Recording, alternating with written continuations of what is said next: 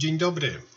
Proszę Państwa, witam na kolejnym wykładzie e, programowania pod Windows. Na dzisiejszym wykładzie zajmiemy się e, e, elementami biblioteki standardowej. To jest taki moment, kiedy trochę możemy zerknąć wstecz, zobaczyć tą drogę, którą już przeszliśmy. No i przypomnijmy, że na tej drodze znajduje się już szereg wykładów, w których poznaliśmy język, który jest jakby naszym podstawowym narzędziem pracy.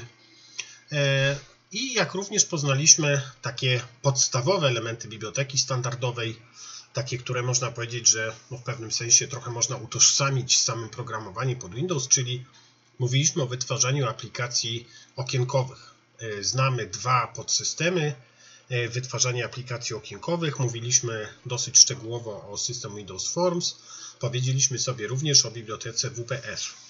No i oczywiście e, platforma .NET charakteryzuje się tym, że jej biblioteka standardowa jest oczywiście dużo większa niż e, tylko wytwarzanie aplikacji okienkowych. Przypominam, że tak naprawdę celem, e, takim jednym z ważnych celów e, dostarczenia nam tej właśnie technologii wytwarzania oprogramowania było zastąpienie, no, można powiedzieć, tego sposobu wytwarzania oprogramowania, tego wcześniejszego przeddotnetowego, w którym każdy podsystem, z którym no, mogła w interakcję wchodzić nasza aplikacja, miał swoją własną e, wizję tego, jak powinno wyglądać jego API. My na jednym z e, e, końcowych wykładów tutaj z naszego cyklu będziemy mogli się trochę przyjrzeć temu, jak wygląda ten interfejs taki właśnie historyczny, niskopoziomowy, najbardziej niskopoziomowy interfejs komunikacji z systemem operacyjnym. No i zobaczymy, że tutaj y, w ramach nawet poszczególnych y, elementów tego interfejsu brakuje czasami jednolitości y, w podejściu, więc pomysł platformy .NET był taki, idziemy no tak szeroko można powiedzieć ławą jak się tylko da, czyli próbujemy zastępować no niemalże cały interfejs komunikacyjny dla aplikacji klienckich takim obiektowym, zunifikowanym interfejsem przez unifikację. Rozumiemy tutaj no tą wspólną bazę, którą chociażby daje nam e, środowisko uruchomieniowe, e, konwencje, e, to w jaki sposób działa mechanizm wyjątków, ale również to, co dzisiaj zobaczymy jako jeden z wielu przykładów, no, że na przykład wszędzie tam, gdzie pojawia się jakiś no, sposób przetwarzania zbiorów danych, tam opieramy się na tej części systemu, która dotyczy mm, strumieni, no i tak jak poznamy strumienie głównie pod kątem tego, jak zachowuje się system plików, tak e, będziemy mogli e, no, z ideą wykorzystania strumieni e, spotkać się w wielu innych miejscach biblioteki standardowej i zobaczymy, no, czy będziemy mieli okazję zobaczyć, jak bardzo spójnie stosowany jest ten i wiele oczywiście różnych innych tego typu przykładów spójności całej platformy jest.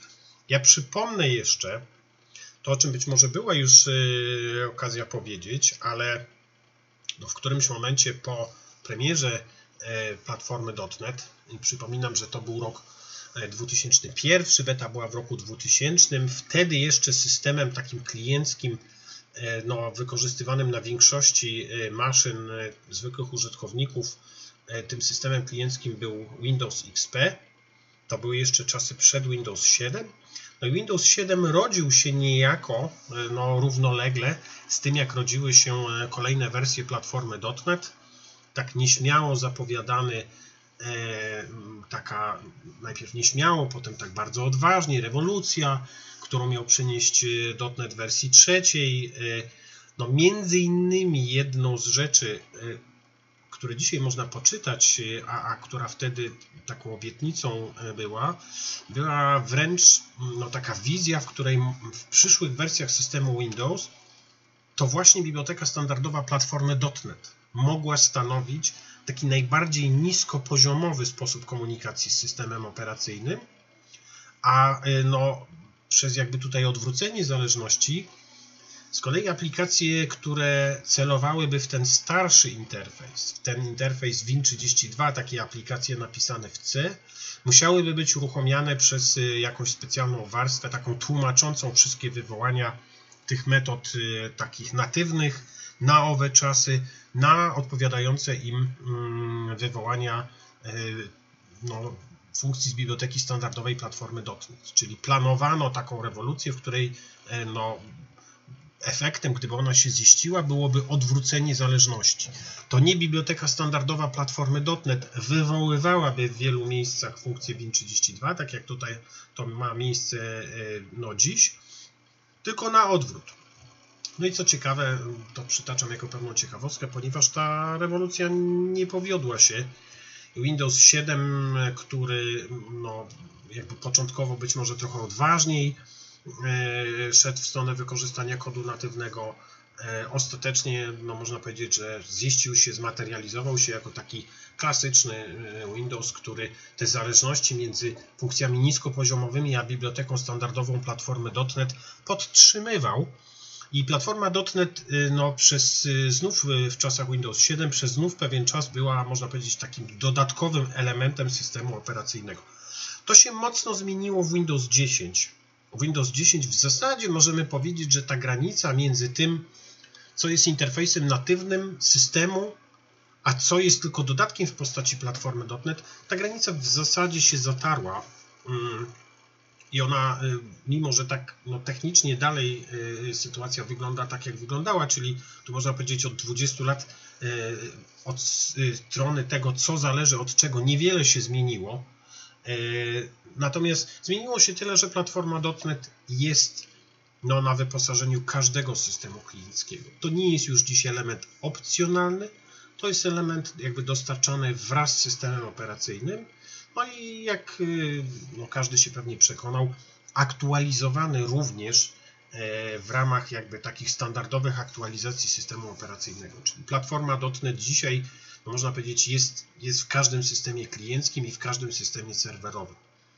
A co za tym idzie, no jest to zupełnie inny komfort pracy z platformą e, programistyczną niż z każdą inną platformą, która jest tylko dodatkiem do systemu operacyjnego. Czyli nawet myśląc y, o e, takich, można powiedzieć, jeśli chodzi o ich rozmiar i pokrycie różnych ważnych podsystemów bardzo szeroką ławą idących technologiach wytwarzania oprogramowania, jak na przykład y, platforma mm, uruchomieniowa Java, e, która jeśli chodzi o liczbę dostępnych API, no wydaje się, że jest tutaj porównywalna, e, to nadal no w każdym systemie operacyjnym tamta jest tylko dodatkiem. Natomiast platforma .NET, tak jak tutaj mówimy, w systemie Windows no, ma ten no, to szczęście, że jest jakby elementem takim standardowym. Wiadomo, i tutaj o tym mówiliśmy, że za tym idzie no, ta trudność przeniesienia platformy .NET na inne systemy operacyjne i stąd jakby cały pomysł na platformę .NET Core. Być może na naszym ostatnim wykładzie będzie E, chwila trochę, żeby o tym opowiedzieć i, i jakby we właściwy sposób tutaj optykę e, e, no, ustawić, tak żebyśmy mogli w platformie .NET Core widzieć no, z jednej strony pewną ewolucję, a z drugiej strony pewien eksperyment, który jeszcze się toczy i który no, jakby kierunki przyjmuje takie momentami nieoczekiwane, które chyba jeszcze nie pozwalają tak do końca być pewnym tego, czym platforma .NET Core stanie się w no, kolejnych swoich odsłonach, ale tak jak mówię, tutaj nie uprzedzajmy faktów. W każdym razie mamy przed sobą e, zupełnie taki subiektywny wybór e, kilku takich ciekawostek, można powiedzieć, kilku wybranych elementów biblioteki standardowej z bardzo szerokiego oczywiście wyboru podsystemów. Znaczy nie mamy tutaj ambicji e, w tym momencie robić takiego trochę encyklopedycznego wykładu na temat kolejnych y, podsystemów i, i opowiadać, do czego one służą. Raczej chciałbym się skupić na takich, po pierwsze, właśnie subiektywnie wybranych przykładach, po drugie, pokazać trochę takich praktycznych rzeczy. Takich rzeczy tutaj y, na liście mamy y, agendę dzisiejszego wykładu, więc proszę zwrócić uwagę, że mamy tutaj takie elementy, jak na przykład zaprezentujemy sobie podsystem do logowania, czyli wyposażenie naszej aplikacji w możliwość tworzenia takich właśnie raportów diagnostycznych, e, które mogą być no, post factum jakby analizowane. E, porozmawiamy sobie o testach jednostkowych, Trochę opowiemy sobie o tym, w jaki sposób do naszej aplikacji dokładać dodatkowe zasoby, tak żeby one by były wkompilowywane w aplikację, a nie leżały jako osobne pliki. Czyli bardziej subiektywny przegląd pod kątem takich rzeczy, które wydają się przydatne. Mm, ponieważ musimy się zmieścić e, w trakcie jednego wykładu, no to stąd, no można powiedzieć, taki właśnie subiektywny wybór tylko niektórych wybranych elementów. E, I oczywiście tutaj taka uwaga do tego, no całe mnóstwo innych ciekawych rzeczy, które można pokazać jako elementy e, platformy .NET, czy to w ramach samej biblioteki standardowej, czy to w ramach wszelkiego rodzaju dodatków, do tego jest tak naprawdę bardzo dużo. To znaczy, proszę zobaczyć, że pomijamy tutaj chociażby przykładowo zupełnie elementy usług kryptograficznych, tego jak system operacyjny sam je wspiera, jak wygląda obsługa certyfikatów, instalowania itd. Tak zupełnie pominiemy temat wszelakiej maści y, no, interfejsów graficznych, czyli począwszy od tego, jak wyglądają zarządzane interfejsy graficzne, E, które mamy tak jakby natywnie, czyli jak programować e, no, DirectX, czy on ma wersję zarządzaną, czy nie, jak wyglądają inne silniki typu Monogame czy Unity. E, to są tematy, które jakby rozwijają, poszerzają naszą znajomość środowiska platformy .NET, ale właśnie przez brak miejsca im tutaj uwagi poświęcić nie możemy, natomiast ja bardzo serdecznie zachęcam do tego. No, całe mnóstwo różnych praktycznych rzeczy można robić z platformą .NET i oczywiście wiele platform technologicznych ma tę właściwość, natomiast y, czy .NET, czy Java, no można powiedzieć, charakteryzuje się tym, że sama biblioteka standardowa, czyli to, co dostajemy, e, tak żargonowo trochę mówiąc, z pudełka, jest zwyczajnie dosyć duża. Jest to taki duży kontrast z, ze środowiskami uruchomieniowymi typu Node.js, gdzie biblioteka standardowa jest naprawdę bardzo mała, taka można by było powiedzieć wręcz y, no, rachityczna, tylko niemalże zarysowana w tych ważnych y, miejscach, natomiast cała dodatkowa zawartość y, no, jest dystrybuowana w postaci takich pakietów zewnętrznych, bardzo często rozwijanych wręcz przez społeczność. Więc no, jakie to są elementy standardowe, o których chcielibyśmy powiedzieć? Zacznijmy od tego, że przypomnijmy sobie takie standardowe jakby interfejsy, o iDisposable mieliśmy już okazję mówić, on się tutaj e, pojawił w kilku miejscach naszej narracji, więc ja tylko przypomnę, że mamy taki interfejs biblioteki standardowej, no i przypomnę, że on jest o tyle ważny, że związany z nim jest właśnie taki lukier syntaktyczny, jakby wbudowany w sam język, czyli jeżeli mamy jakąś klasę, która, która implementuje ten interfejs, to oznacza y, dla kogoś, kto używa egzemplarzy tej klasy, że prawdopodobnie no, z y, różnych powodów i tutaj na wykładach, y, w których mówiliśmy o bibliotece Windows Form, zwracaliśmy uwagę, jakie to mogą być powody, czyli na przykład jakaś alokacja zasobów takich niezarządzanych, niskopoziomowych. No jeżeli pojawia się taki obiekt, to oczywiście od klienta wymaga się Y, w którymś momencie czasu życia takiej klasy jawnego zawołania tej metody dispose i właśnie tu pojawia się ten lukier syntaktyczny, który sobie przypomnijmy.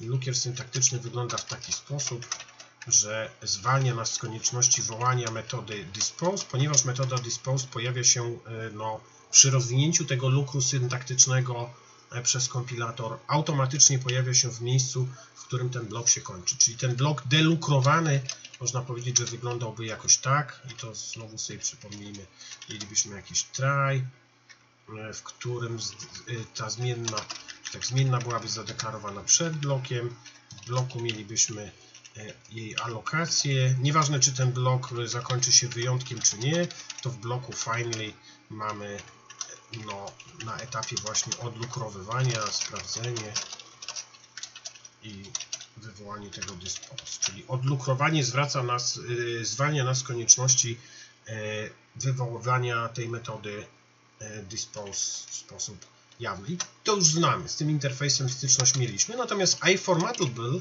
czyli ten drugi interfejs, który tutaj chcemy przedstawić, jest równie często używanym interfejsem, elementem składowym biblioteki standardowej Jego z kolei używamy za każdym razem, kiedy mm, obiekt ma się formatować do napisów mm, według jakichś różnych e, reguł.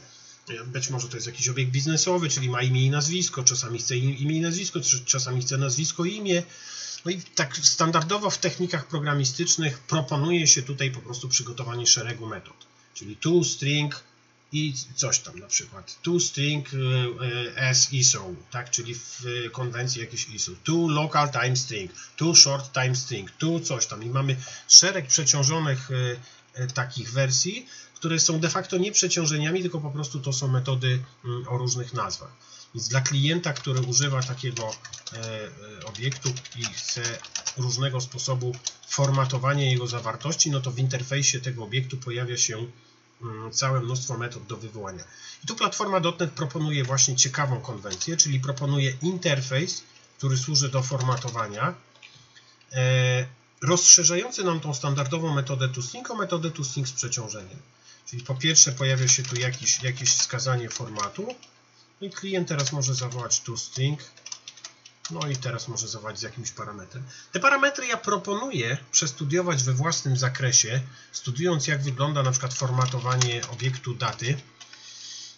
No i kiedy zobaczymy, że datetime właśnie implementuje ten interfejs iFormatable, czyli ma mm, metodę do formatowania z, ze wskazaniem formatu, no i całe mnóstwo różnych ciekawych formatów O, D, S i tak dalej, G. Pojawia się tutaj różnych konwencji e, formatowania, e, pojawia się wraz ze wskazaniem możliwego właśnie e, formatu. Ten dodatkowy obiekt, czyli format provider, on jest najczęściej inicjowany z wystąpienia takiego obiektu, który się nazywa Culture Info.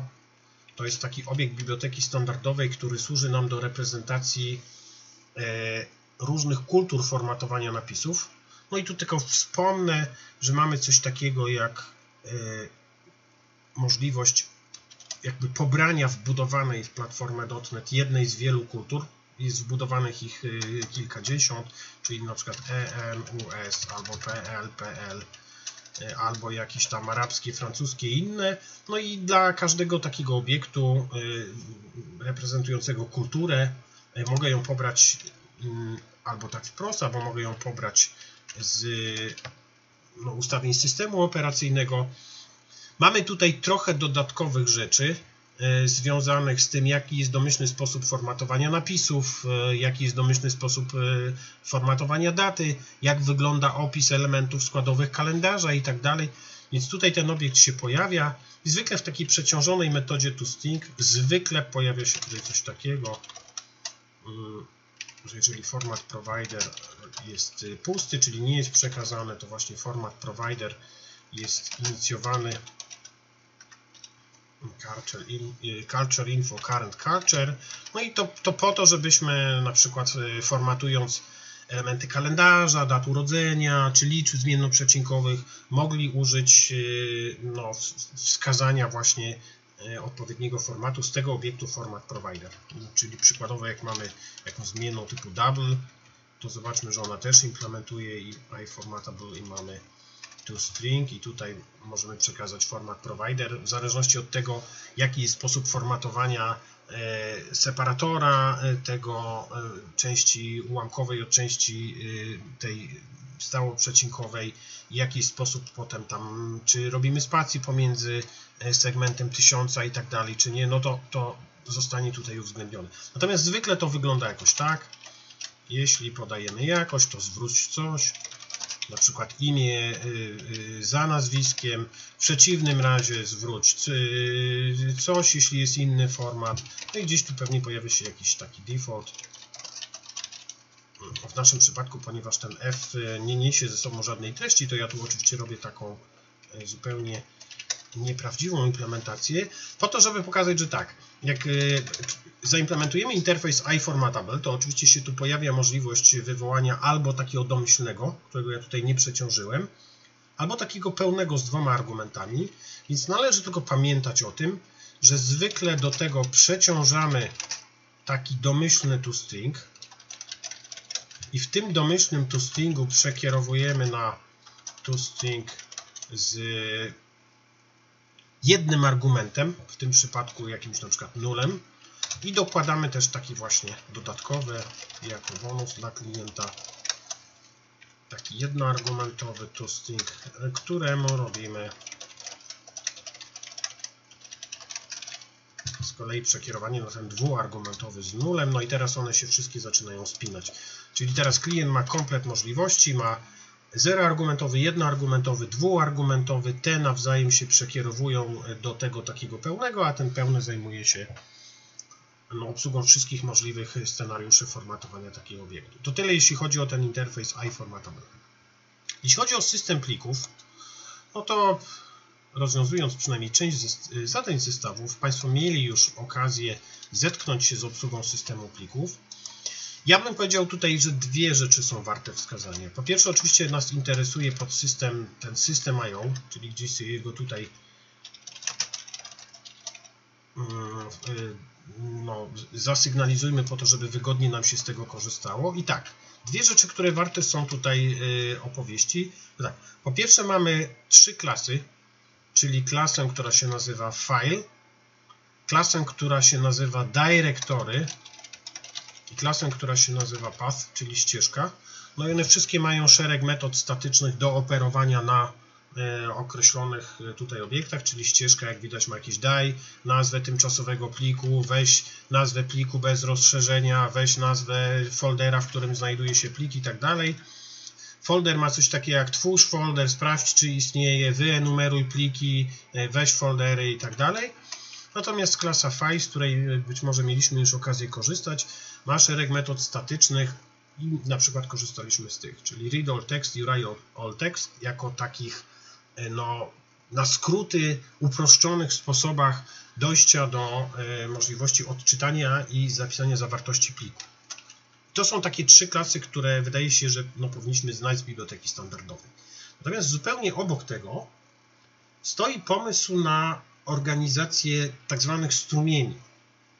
Jeżeli ktoś no, zetknął się już z ideą strumienia, no to tutaj narracja jest być może trochę bardziej rozbudowana i może nie czas na miejsce, żeby ją tak prowadzić szczegółowo, ale zapamiętajmy tyle, że mamy jakąś klasę abstrakcyjną, która nazywa się stream. To znaczy, że no, nie możemy powołać do życia egzemplarza takiej klasy stream, ale już na poziomie klasy abstrakcyjnej określono tutaj jakieś podstawowe funkcjonalności, no i te, te, podstawowe funkcjonalności to jest taki read, który odczytuje bufor znaków i read, który odczytuje jeden znak, write, który zapisuje jeden znak i ten write byte i write, który zapisuje bufor, no i seek do zmiany tak jakby offsetu w takim strumieniu. I to jest klasa abstrakcyjna. Y, z niej dziedziczy kilka takich implementacji, nazwijmy je no, konkretnych, takich, które robią coś fizycznego, no i tu dwie tak naprawdę e, przywołajmy. Jedna nazywa się FileStream, no a druga nazywa się NetworkStream. Czyli w każdym miejscu, w którym pracujemy ze strumieniem plikowym albo strumieniem sieciowym, mamy możliwość dostępu do obu, patrząc na nie tak, jakby one były po prostu strumieniami. No i każdy z nich, jako już taka klasa konkretna, którą możemy powołać do życia, ma oczywiście prawdopodobnie jakiś konstruktor. No i tutaj możemy zobaczyć, że na przykład strumień plikowy to możemy powołać do życia, podając mu ścieżkę i tryb dostępu do pliku. Na to warto zwrócić uwagę. Tutaj poszukam takiego konstruktora, na który chciałbym zwrócić uwagę, ponieważ y, jeden z nich mm, jest dosyć ważny. Otóż, to jest ten dziewiąty. Dziewiąty konstruktor tutaj proszę zobaczyć tak, że ma ścieżkę, ma tryb dostępu do pliku. Napiszmy tutaj jakąś ścieżkę. Teraz mam jakąś enumerację, która mówi, jaki jest tryb dostępu do pliku. No i powiemy, że to jest tak. Chcemy ten plik otworzyć, utworzyć, otworzyć lub utworzyć, doklejać tylko do niego się. E, to jest jedna e, tutaj z możliwości, którą musimy wskazać. Druga możliwość, druga flaga konfiguracyjna to jest tryb dostępu do pliku. I to ma już krytyczne znaczenie przy dostępie współbieżnym do pliku. Czy będziemy do niego tylko e, zapisywać, czy tylko odczytywać, a może odczytywać i zapisywać. I proszę zobaczyć, otwieram go na przykład w trybie odczytu i zapisu. No i ostatnia rzecz to jest wskazanie systemowi operacyjnemu, a co gdyby inny wątek równocześnie próbował e, z tego pliku też korzystać, no to na przykład zezwól innemu wątkowi na równoległy odczyt tego pliku. Mimo, że ja będę do niego e, zapisywał i go odczytywał. No i tylko taka pełna sygnatura pozwala nam się bronić przed takimi y, scenariuszami, w którym no, brak na przykład tej flagi mówiącej, że inny wątek ma zezwolenie na dostęp do tego pliku w trybie do odczytu, brak tej flagi y, powodowałby przy dostępie wielowątkowym oczywiście wyjątek mm, no i, i informację, że pliku nie można używać, ponieważ jest używany przez y, inny proces, czy ten inny wątek, tak? Więc tak wygląda taki podstawowy mm, konstruktor, ich jest ileś tam wersji, no ale przez dziedziczenie z tego podstawowego Steam, taki FiveStream dalej ma dosyć taki, można powiedzieć, podstawowy interfejs. Ma ten read, ma ten write, ma ten seek, ma jeszcze coś takiego, na co warto zwrócić uwagę, czyli taki flash, który e, upewnia się, że wszystko, co zapisaliśmy, na pewno zostało jakby wyrzucone do tego fizycznego nośnika, a nie, że gdzieś tam rezyduje jeszcze w pamięci i grozi tym, że jeżeli ktoś e, proces przerwie, no to to pozostanie tylko w pamięci. I to jest ta warstwa taka podstawowa. FileStream dziedziczy ze Stream. FileStream ma taki podstawowy interfejs, ale do tego mamy szereg tak zwanych dekoratorów. Ja to napiszę E, ponieważ e, pojęcie dekorator wiąże się ze wzorcem projektowym, który właśnie nazywa się dekorator. No i dla Państwa, którzy znacie wzorce projektowe, to nie jest pojęcie nowe, jakby wiecie, do czego służy dekorator. Natomiast dla tych, którzy się spotykają z tym pojęciem po raz pierwszy, to proszę zobaczyć, czym jest dekorator. Dekorator jest klasą, która również dziedziczy z tej naszej klasy bazowej, ale w której konstruktor wymaga podanie jako argumentu innego obiektu, takiego obiektu, który będziemy dekorować, w tym przypadku tego fs. I co potrafi taki stream reader? Stream Reader jako dekorator tego file streama ma oczywiście ten podstawowy interfejs, czyli read y, i tak dalej, ale dokłada swoje rzeczy, swoją logikę na dowolny strumień. Na przykład bardzo wygodne read line, bardzo wygodne read to end bardzo wygodną możliwość podania jako jednego z argumentów konstruktora e, no, jednego z wielu e, sposobów kodowania takiego pliku, gdzie mamy w bibliotece standardowej tej przestrzeni nasz system, tekst, mamy klasę, która się nazywa encoding i tutaj mamy całe mnóstwo wbudowanych w platformę .NET e, tablic kodowań plików 16-bitowych, 32-bitowych, Również takich, które tutaj nie występują jako statyczne właściwości w tej klasie encoding. Ktoś studiując to mógłby dojść do wniosku, że mamy tutaj raptem UTF-8, UTF-7, UTF-32 i jeszcze tą y, ASCII. Natomiast tutaj mamy coś takiego oczywiście jak get encoding i możemy napisać na przykład Windows 1251, czyli stronę kodową 8-bitową, która jest używana no, gdzieś tam na przykład w niemieckich instalacjach Windowsa, czy 1250 w tych y, wschodnioeuropejskich, na przykład jak polskich i całkiem wiele jeszcze innych stron kodowych tu jest zdefiniowanych. W tym możemy zdefiniować własną, więc tutaj podajemy temu stream readerowi i jego odpowiednikowi, który się nazywa StreamWriter, czyli takiemu, który służy do zapisu, podajemy strony kodowej, czyli dekorator oprócz tego, że potrafi dla swojego klienta przedstawić się tym samym interfejsem, bo on nadal jest Steamem, do tego interfejsu dokłada różne ciekawe rzeczy.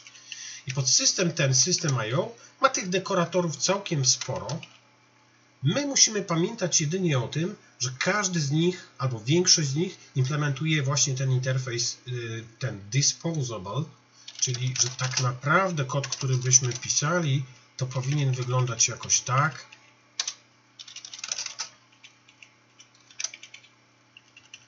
I tutaj na przykład napisalibyśmy encoding UTF-8 i jeszcze gdyby był jeden dekorator. Dekoratory mają to do siebie, ten wzorzec projektowy, że można je składać, Więc tak, czyli na ten podstawowy nasz strumień nałożony jest Stream Reader. Ja mam już wygodny sposób odczytywania. Gdybym file stream zamienił na network stream, to również mógłbym na niego nałożyć Stream Reader i ze strumienia sieciowego coś wygodnie odczytywać. Ale mogę tutaj nałożyć jeszcze kolejny. Mm, I w zależności od tego, co chcę zrobić, no to co mogę zrobić? No to zobaczmy, co tutaj jeszcze mamy w System.io. Otóż mamy tutaj na przykład takie strumienie, które służą do e, odczytu i zapisu takiego trochę ułatwionego danych w e, kodowaniu binarnym. I taki binary reader, tudzież binary writer ma, e, to zobaczmy jako ciekawostkę, rozbudowany z kolei interfejs do zapisu, tudzież odczytu a to boola, a to byte'u, a to inta, a to tablic i tak dalej. Mamy tutaj cały podsystem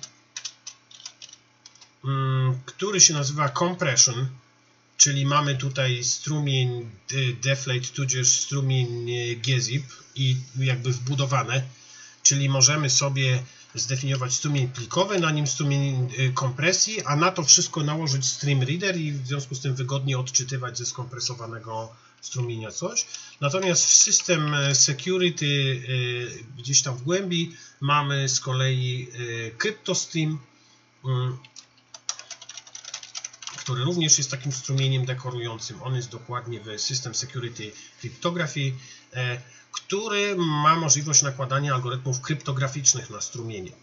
Czyli znowu moglibyśmy go gdzieś tutaj włożyć w środek i na strumień plikowy nałożyć strumień krypto ze wskazanym i tutaj napisalibyśmy CryptoStream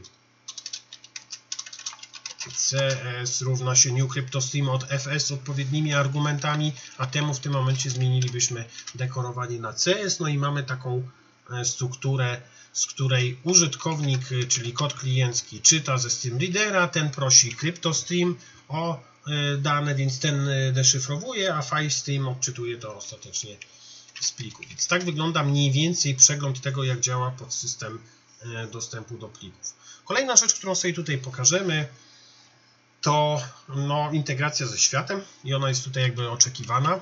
Mm, tak jak sobie powiedzieliśmy, że w przypadku niektórych środowisk programistycznych to wręcz jest tak, że większość sensownych rzeczy mamy mm, do dyspozycji na zewnętrznych y, e, repozytoriach pakietów.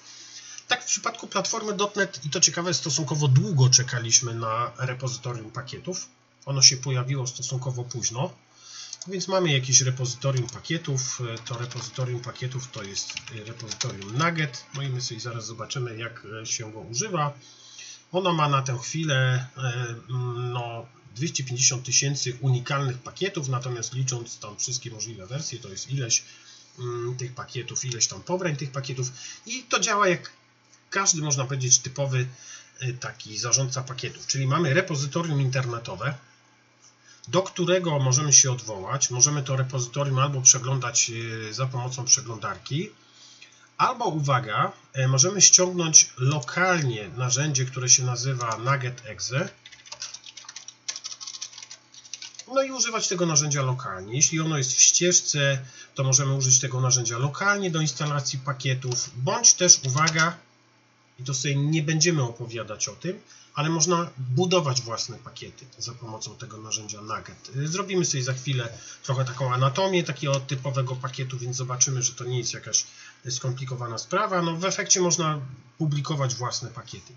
Natomiast y, oczywiście pomijając możliwość zabawy y, z repozytorium pakietów y, przy użyciu narzędzia command line'owego, no to bardzo wygodną mamy integrację w samym Visual Studio. Mam integrację na poziomie pojedynczego projektu. Mam tutaj y, zarządzanie y, pakietami z Nugget. Mam integrację na poziomie całego solution, gdzie ja y, wskazuję pakiety, które chcę do takiego solution dodać do poszczególnych projektów. Czyli ja mówię, że chcę jakiś pakiet, dostaję jakiś tu wygodny sposób browsowania tego. Zainstalowanych mam 0, więc ja się oczywiście przełączam na zakładkę Browse, czyli chcę oglądać pakiety. No i mam te pakiety, mam wyszukiwarkę, mam oczywiście pakiety uporządkowane tak powiedzmy, można powiedzieć, mniej więcej według częstotliwości użycia, więc oczywiście prawie najwyżej jest jakiś pakiet do y, obsługi standardu JSON, bardzo wysoko jest jakiś serilog do logowania i inne. Nas będzie tu interesował jako jeden gdzieś tam z następnych mamy pokazać y, JSON. Może, może jakby pomijmy na chwilę temat serializacji być może dołączymy ten temat do naszego wykładu, w którym będziemy e, mówili o serializacji XML. Zobaczymy, jak z czasem tutaj będziemy stali. E, ja przejdę tutaj do tego punktu, czyli pokażemy sobie, jak e, logowanie zrobić. Czyli chcę użyć pakietu log4net, bo ten mi tutaj interesuje. Mam kilka oczywiście możliwości, jak w większości tego typu no, repozytoriów, pakietów, że no, jeden problem ma zwykle kilka alternatywnych rozwiązań. W moim przypadku chcę moją aplikację wyposażyć w możliwość logowania, czyli szukam pakietu log4net. Z tego poziomu solution dołączam go do wskazanego projektu, wybieram w której wersji, mówię instalacja. To wszystko działa po HTTPS-ie, więc oczywiście jest tam nawet jakiś protokół, e, dosyć tam nietrudny. Ja bym na jedną rzecz tutaj zwrócił uwagę, może na kilka rzeczy. Pakiet się instaluje, my możemy zobaczyć, że on y, w trakcie instalacji po pierwsze został tutaj dodany automatycznie do referencji, po drugie chcielibyśmy zobaczyć y, jak wygląda e, efekt tutaj instalacji w systemie plików, więc zobaczmy mm, w mojej aplikacji moja aplikacja nazywa się console app5, ale ona jest chyba tutaj. Pojawia się nowy folder. Ten folder nazywa się packages. W tym folderze packages zaczynają się pojawiać wszystkie pakiety, do których ja dodaję referencje.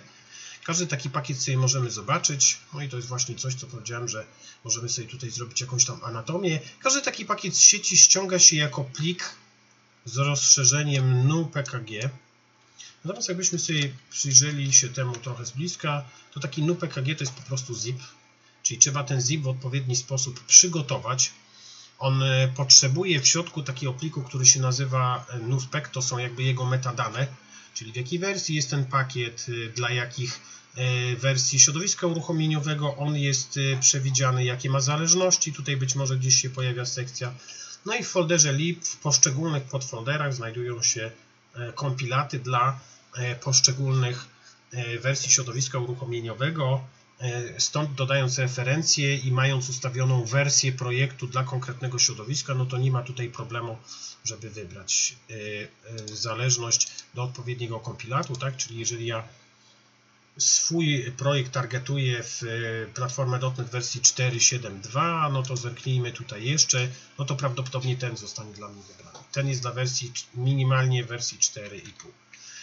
Sam taki pakiet może robić trochę więcej rzeczy, bo oprócz tego, że może dodawać nam automatycznie referencje, może nam automatycznie modyfikować pliki jakimiś wyrażeniami regularnymi, możemy wręcz dodać jakiś skrypt PowerShellowy, który coś robi w trakcie instalacji takiego niestandardowego, więc tutaj możliwości mamy całkiem sporo.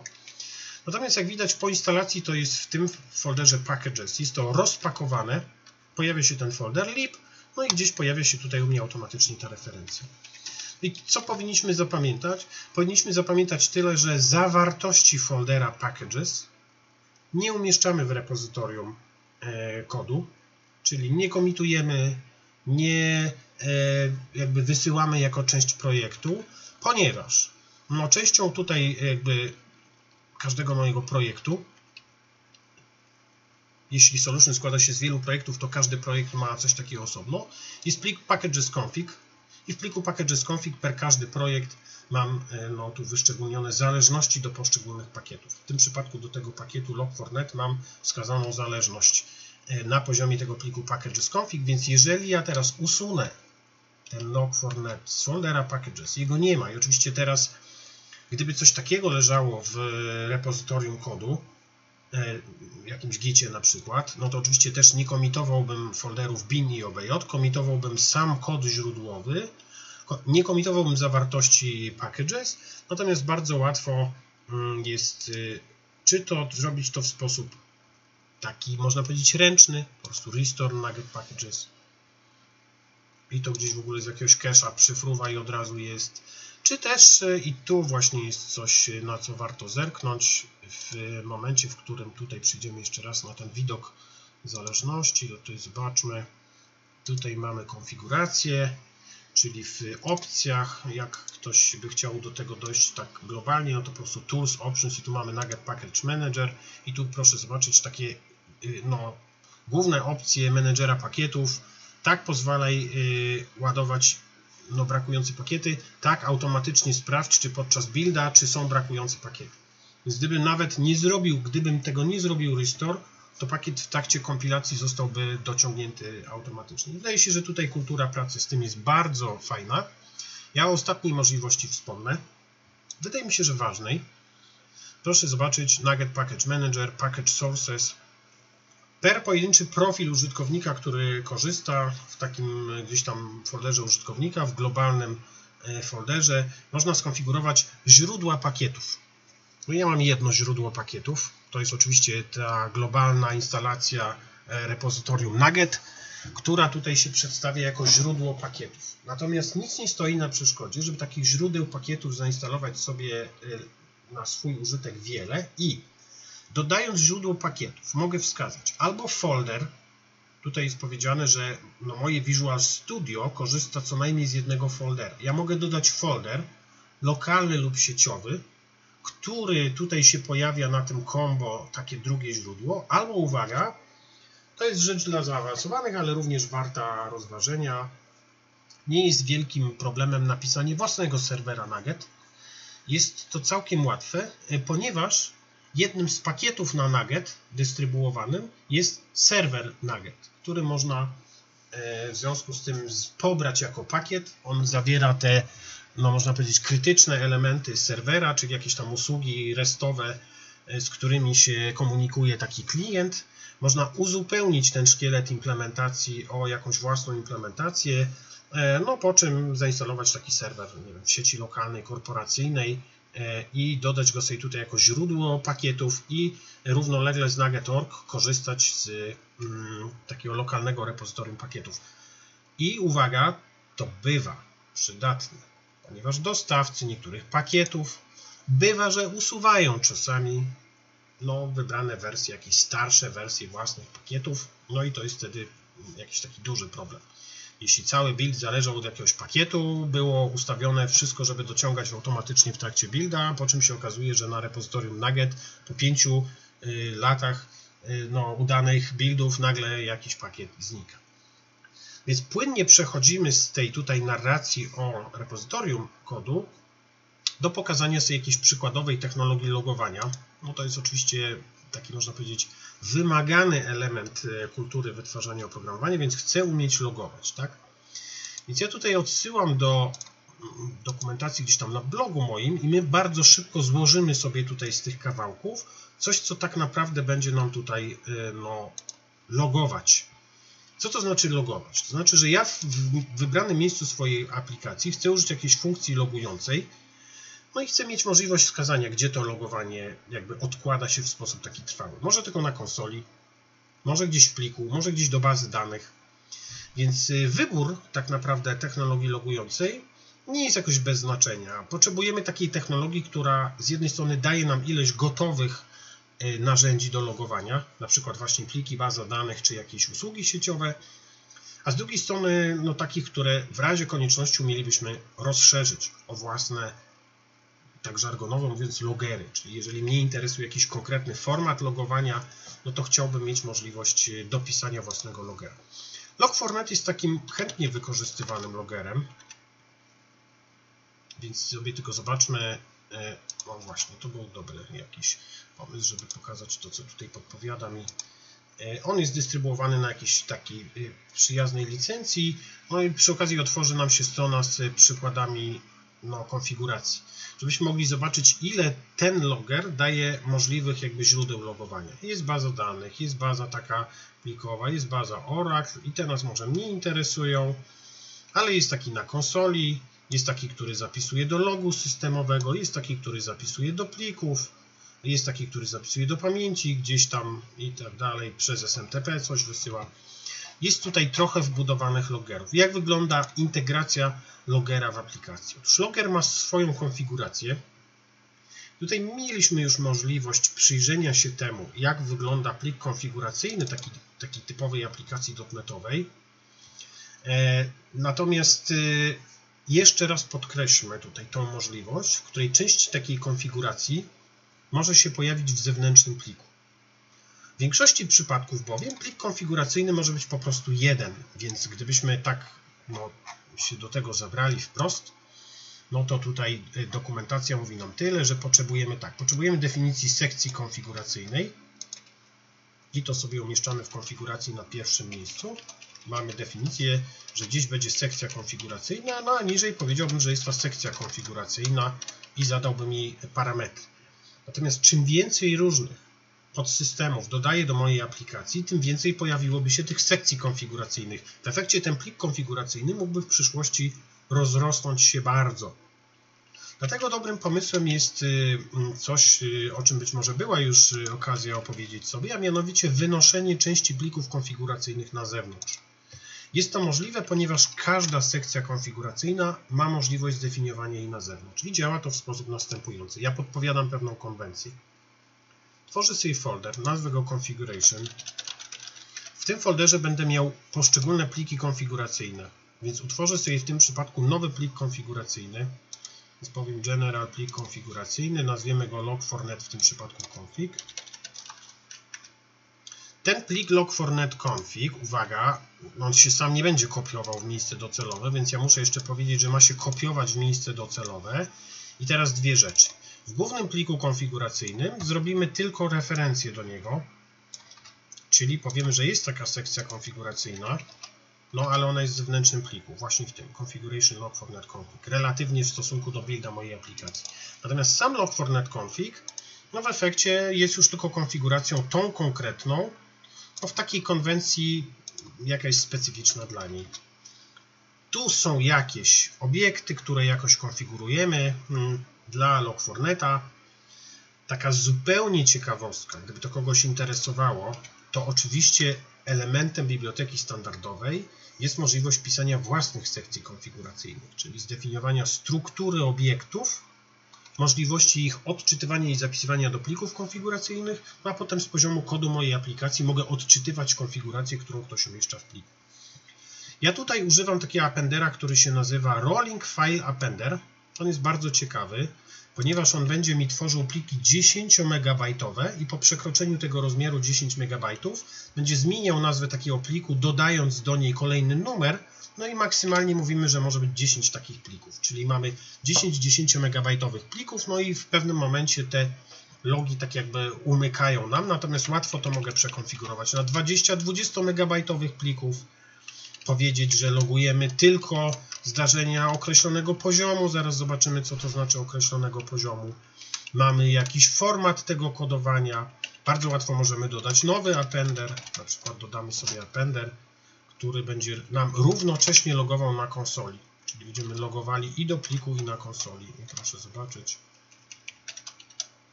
Mm, ten nazwiemy konsol. Według tej dokumentacji, którą tutaj widzieliśmy, e, no, ten konsolowy jest typu takiego, no więc ja musiałbym go tutaj tak napisać console appender, powiedzieć jaki on ma standard tego layoutu. Ten się oczywiście nie zawija, więc, więc to jest jego jedyna konfiguracja. No i na tym poziomie root powiedzieć, że mamy dwa appendery.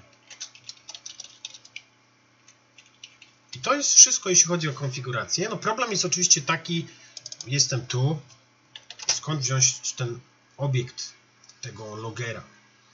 Więc oczywiście log4net ma taką możliwość, log4net, e, że możemy napisać, um, użyć tej klasy, która się nazywa log manager i on ma taką metodę, która się nazywa getLogger, no tylko problem jest taki, że ta metoda getLogger wymaga jakiegoś argumentu ten argument pozwala nam dopasować się do jednego z e, logerów z e, konfiguracji, to w szczególności oznacza, że możemy mm, definiować logery tylko dla określonych klas. Natomiast jest to tak, stosunkowo niewygodne, ponieważ za każdym razem muszę wiedzieć, co tutaj podać jako argument. Muszę się tym trochę martwić. Jaki tutaj ma być e, argument tej metody getLogger. Dlatego jako coś takiego przydatnego rekomenduje się posiadanie takiej klasy użytkowej, bardzo krótkiej, zobaczmy jak ona wygląda. Taka klasa użytkowa w takim wieloprojektowym solution, w takiej solucji wieloprojektowej, byłaby gdzieś w którymś assembly, który jest bardzo nisko, czyli wszystkie inne assemble miałyby referencję do tego. I co ona robi? To jest klasa log, ona ma dwie statyczne metody. Ma statyczny konstruktor, czyli mam gwarancję, że którąkolwiek z tych metod nie spróbuję użyć, to najpierw się zawoła ta, a ta ładuje mi plik konfiguracyjny. Natomiast te dwie, proszę zobaczyć, jak są e, ułożone. No, ułożone są tak, że jeżeli podaję obiekt, to przekierowuje mnie na tą, która wymaga typu, a ta, która wymaga typu, przekazuje do tej metody getLogger no, nazwę tego typu, lub jeśli ta nazwa typu jest pusta, to po prostu string empty. Więc korzystanie z logera staje się bardzo proste. Jeżeli mam metodę statyczną albo metodę niestatyczną, najpierw zacznijmy od metody niestatycznej. W metodzie niestatycznej napiszemy po prostu coś takiego log for this kropka i tu już mam debug, info, error, fatal. Bo jesteśmy w metodzie, która no, ma instancję obiektu, więc tak naprawdę no, wywołujemy tą Natomiast w metodzie statycznej no, logowanie wyglądałoby tak. Log for type of program, czyli bieżący typ przekazujemy jako argument. No i weźmy jakiś debug, albo debug format, albo error, albo coś tam. I tutaj napiszmy to only for. I ponieważ używamy format, no to format automatycznie nam właśnie potrafi użyć takiego string format. No i mam tą moją aplikację, która coś tam zrobi. Tu jeszcze sobie zróbmy console readline i zobaczmy jeszcze raz plik konfiguracyjny. Z jednej strony powinien mi powstać plik, czyli ten test log, ponieważ wskazuje e, lokalizację relatywną, to on się pojawi obok aplikacji. Z drugiej strony to logowanie się pojawi na konsoli. No, jeśli wszystko zrobiliśmy dobrze, to to oczywiście zadziała.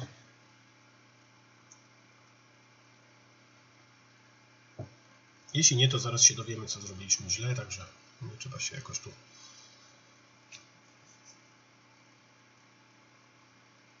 niepokoić. Tym komunikat na konsoli się pojawił, więc loger ten konsolowy na pewno działa dobrze. To jeszcze sprawdźmy, czy dobrze działa loger plikowy. No i loger plikowy też działa. Czyli widać w tym momencie, no co się stało. Oddzieliłem konfigurację logowania od samego używania logowania. W szczególności, jeżeli na przykład nie interesują mnie w ogóle logi, to usuwam wszystkie appendery. Tak? Jeśli interesują mnie tylko logi określonego poziomu, to dokładam sobie tutaj filtry, zmieniam e, konfigurację jakby według e, własnego uznania.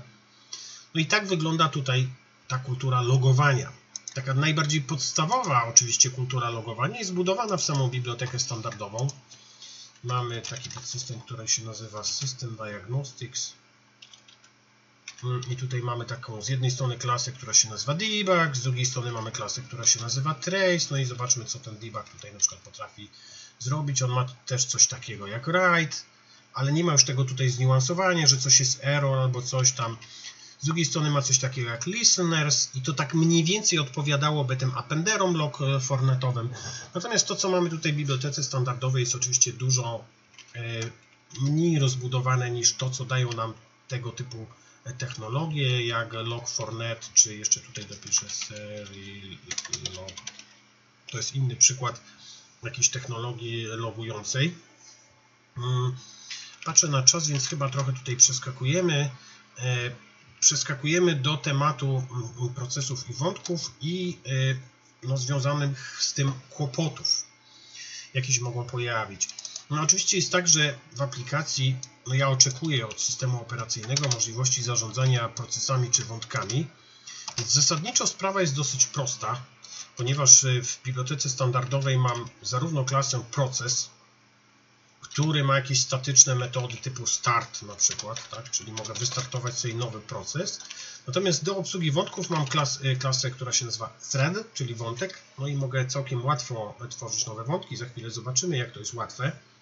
Mam również w system threading całe mnóstwo y, tutaj klas, które służą do synchronizacji wątków, czyli na przykład mam coś tutaj takiego jak mutex, mam semafor. O tym wszystkim można doczytać, w, czy to w podręczniku, czy w dokumentacji. Tego sobie nie będziemy pokazywać, tam te przykłady są dosyć wyczerpujące.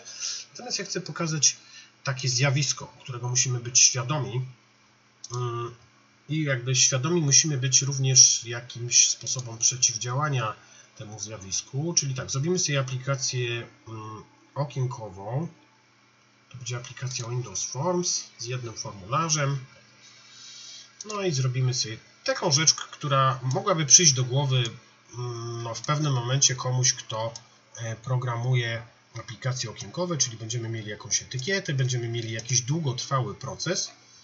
Myśmy już rozmawiali o tym, jak taki długotrwały proces e, no, w tych operacjach asynchronicznych wynieść, można powiedzieć, w taki asynchroniczny sposób poza tak jakby ryzyko blokowania nam tutaj y, pętli głównej. Przypominam, że cały wzorzec ten async await był z tym związany. To jest oczywiście wszystko w porządku, no z jednym problemem. No, w ten sposób wynieść możemy tylko operacje asynchroniczne, ale nie takie operacje, które się dzieją i wymagają tak jakby procesora. Czyli gdybym na przykład w ten sposób chciał obliczać, nie wiem, e, jakieś iteracji złożonego fraktala, albo rozwinięcie liczby pi, albo liczyć sobie mm, mm, jakieś hasze dla bitcoina, no to oczywiście to nie zadziała. To potrzebuje wątka e, mm, dodatkowego, ponieważ tak naprawdę no, zajmuje procesor obliczeniami, tak? Chcielibyśmy sobie powiedzieć, że po naciśnięciu przycisku zaczyna się wątek. Jak działają wątki na platformie .NET? Otóż mamy jakąś prostą klasę, która się nazywa thread, tak jak już tutaj sygnalizowaliśmy, która działa w super prosty sposób. Klasa thread jako argumentu wymaga delegata, który jak zrobimy thread start, no to uruchomi tego delegata jako nowy wątek. Natomiast jakbyśmy zrobili tam mm, na wątku, zobaczmy jak go tutaj zatrzymać, na przykład jakbyśmy mu zrobili join albo tam abort, no to moglibyśmy albo poczekać aż on się skończy, albo go w taki, no można powiedzieć inwazyjny sposób e, spróbować zakończyć. No, skąd wziąć takiego delegata? No to porozmawiajmy chwilę jak przekazać parametry do wątka, jak to tutaj działa. Więc najłatwiej zrobić sobie jakąś klasę, którą nazwalibyśmy thread class, czy custom thread class. W niej zrobilibyśmy jakąś metodę, No i to będzie ciało naszego wątka, natomiast argumenty przekażemy do tego obiektu, czyli jakiś string arg na przykład. I to jest argument, który przekażemy z zewnątrz. Więc chcąc przekazać parametry do wątka, to będzie ciało wątka, ponieważ to jest metoda instancji, to ona będzie miała dostęp do tego arg, no a ja przekażę sobie argumenty w taki sposób, że zrobimy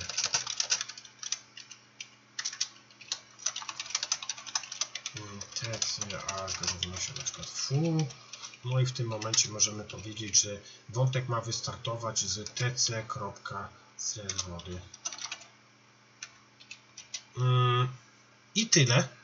To jest prosta funkcja bezargumentowa, ale widać, że to nie jest jakieś ograniczenie. No i spróbujmy tutaj, to się uruchamia jako wątek. Spróbujmy zrobić tak. Wątek usypiamy na 100 milisekund ale 100 razy tam jakieś iteracje skomplikowanego obliczenia prowadzimy.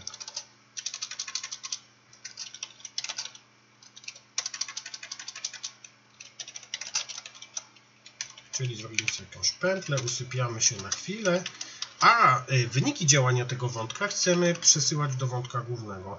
Czyli zrobilibyśmy this label, mm, tu jeszcze musielibyśmy przekazać formularz, e, żeby się móc do niego odwoływać, Ach, to trochę bardziej skomplikowane się zrobi, ale to nie szkodzi. Chciałem napisać tak. This label 1.text równa się jakiś tu właśnie string format. I to oczywiście nie zadziała. Mm, w takiej wersji musielibyśmy tutaj ten formularz przekazać jako argument. Więc zrobimy tak, po prostu form. Uczmy się też rozwiązywać takie problemy. Form. Tutaj sobie zapamiętamy ten form. To, żeby ładnie wyglądało, to umieśćmy tutaj. To nie musi być nawet public, może być private, bo tylko tu będziemy z tego korzystali. Czyli napiszemy this form równa się form.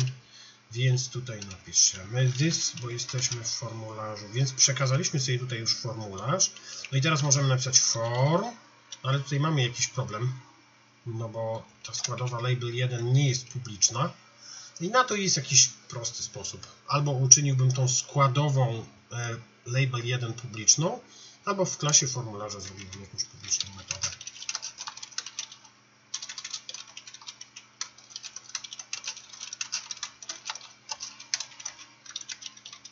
Czyli w klasie formularza będziemy mieli coś takiego, a tutaj na ten form, zakładając, że on jest typu form 1, bo to jest oczywiście nie takie oczywiste, czyli to tutaj zmieńmy na form 1, to zmieńmy na form 1 i teraz będziemy mogli napisać form.set label text. No i coś tutaj zrobimy. Nowa wartość. Czyli podsumujmy, co tutaj zrobiliśmy. Zrobiliśmy dodatkową klasę, przekazaliśmy jakiś argument, co prawda z niego nie korzystamy, no ale sobie to zilustrowaliśmy. Przekazaliśmy też klasę formularza po to, żeby z metody ciała tego wątka, który wykonuje jakieś skomplikowane obliczenia, móc zwrotnie na poziomie samego formularza ustawić wartość etykiety, czyli żeby wątek mógł zwrotnie komunikować się ze swoim formularzem. Oczywiście muszę uruchomić tylko tą aplikację. No i uruchamiam. Formularz się oczywiście załaduje, ale trafimy na tutaj na pewien problem. Ten problem wygląda tak. E, I tu jest napisane tak. Nieprawidłowa operacja między wątkami. Do formantu uzyskiwany jest dostęp z wątku innego niż wątek, w którym został on utworzony. Dlaczego ten wyjątek się pojawia? To wymaga no, dosłownie chwili wyjaśnienia. Nie będziemy wchodzić bardzo w szczegóły, ale trochę więcej będziemy mogli sobie powiedzieć na no, jednym z przyszłych wykładów, kiedy zobaczymy, jak wygląda obsługa tych komunikatów, które sobie już zapowiedzieliśmy na poziomie interfejsu Win32, gdzie mamy jakąś kolejkę spływających komunikatów, czyli operacji, które trzeba wykonać. No i się dowiemy, że tak naprawdę no, kolejka komunikatów skojarzona jest z wątkiem, czyli wątek jest właścicielem kolejki komunikatów i może dostawać się do okna, które w ramach tego wątku powstało. Natomiast tutaj zrobiliśmy sobie dodatkowy wątek, i takich operacji pomiędzy wątkami, w których jeden wątek próbuje się dostawać do y, elementów interfejsu użytkownika utworzonego przez inny wątek, Windows zrobić się nie da. Dokładnie tak samo działałoby to w WPF-ie, dokładnie tak samo działa to w WinForms. Więc ja we własnym zakresie proponuję ten przykład przerobić na WPF-a. To co możemy zrobić? Otóż nie możemy w taki prosty sposób tego set label 1 tekst implementować w taki sposób, że po prostu odwołujemy się do etykiety i modyfikujemy jej tekst. We wszystkich miejscach, w których istnieje podejrzenie, że może to robić inny wątek, musimy e, odwołać się do jakiegoś dodatkowego mechanizmu, który implementuje coś na e, podobieństwo takiej, można powiedzieć, dwukierunkowej komunikacji między wątkami. W szczególności jeden z tych wątków może powiedzieć, że przesyła do tego drugiego, głównego wątku, który jest właścicielem tego okna, jakiś komunikat z argumentami. W tym przypadku tak naprawdę tym komunikatem jest funkcja, którą trzeba wykonać, a drugi wątek wstawia polecenie wykonania tej funkcji do swojej własnej kolejki komunikatów. I w takim natywnym Win32 to nie jest takie proste, bo wymaga to jakiegoś pomysłu na to, co tak naprawdę chcemy sobie przesłać i jak to obsłużyć, Natomiast w tego typu interfejsach, jak e, interfejs ten tutaj WinFormsowy, no to jakieś powinno się dać jakoś zautomatyzować. No i tutaj jest jakiś pomysł na to. Ten pomysł tutaj wygląda tak. Po pierwsze, w każdej klasie formularza mamy coś takiego jak e, zmienna bólowska, która mówi, czy to jest operacja między wątkami, czy nie. Jeśli tak, to coś. Jeśli nie, to można użyć jakiejś skróconej ścieżki. Natomiast w tej e, wersji takiej, w której wymaga to komunikacji między wątkami, musimy użyć takiej pomocniczej metody. Ta metoda tu się nazywa invoke. I ta metoda jako argument przyjmuje właśnie funkcję, która zostanie wysłana do tego drugiego wątka. W WPF-ie to tylko powiem, że wyglądałoby to tak. że w klasie e, opisującej okno mamy obiekt, który się nazywa dispatcher, a on ma metodę invoke, a cała reszta wyglądałaby już dokładnie tak samo. Więc co to jest ten invoke? No musimy tu przesłać funkcję. Ja bym powiedział, że ta funkcja to wyglądałaby tak. No bo dokładnie ona by tak wyglądała. No kłopot jest taki, te, taka to jest dokładnie funkcja, taki drobny kłopot jest taki, że to się nie typuje, no bo z tego kompilator nie potrafi żadnego sensownego typu e, wydedukować z tego delegata, który by mu się zgodził z tutaj z tym ogólnym typem delegata, z tym abstrakcyjnym typem delegata.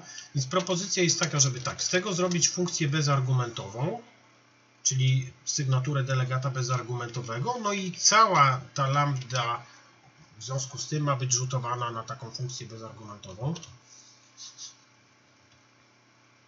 No i to jakoś tam zadziała nawet. Zobaczymy, że w tym momencie mamy możliwość nie tylko komunikacji y, z interfejsem użytkownika, ba, nawet mogę odpalić drugi wątek, czyli w tym momencie dwa wątki konkurują o tą samą etykietę, to nie jest tutaj jakimś wielkim problemem, tak? Mamy dwa wątki, teraz uwaga, jak zamknę formularz, w trakcie, kiedy te wątki działają, no to oczywiście wątek się nie skończy od tego, że ja zamknąłem formularz, no więc przez to, że nie zrobiłem abort, no to wiadomo, że ze środka wątka właśnie znikł mu e, no, ten jakby podmiot, na którym on operuje, czyli znikło mu okno. To pokazuje, że taki wielowątkowy program musi bardzo uważać na to, że wątki mogą działać, a program w ogóle może nie mieć jeszcze okna. Więc w ten sposób powiedzieliśmy sobie trochę tutaj o problemie procesów, wątków, tak w zasadzie to się tylko po tym prześliznęliśmy. Ja bym tutaj jeszcze tylko pokazał taki element biblioteki standardowej, który się nazywa Task Parallel Library. Może tylko po to, żeby pokazać, że jest coś takiego.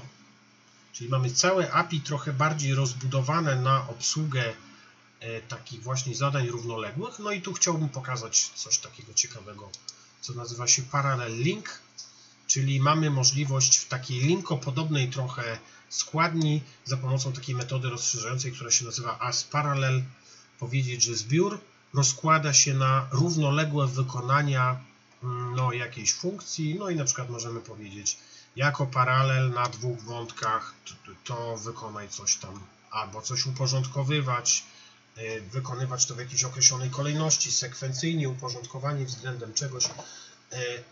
Strasznie fajna rzecz i taka wysokopoziomowa, a bardzo y, no, jakby elegancki kod się z tego buduje. I zupełnie tak może jako ciekawostkę jest jeszcze element tej biblioteki TPL, on nazywa się Data Flows. To tylko pokażę, że jest coś takiego. Jeszcze wyższego poziomu API jako część biblioteki standardowej.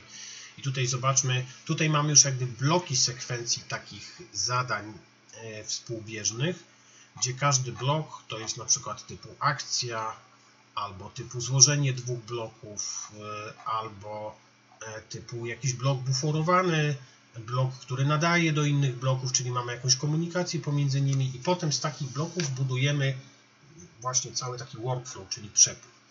Z tego bloku przez tak żargonowo trochę przez pipe do innego bloku, do kolejnego bloku, do kolejnego bloku. Dane przepływają.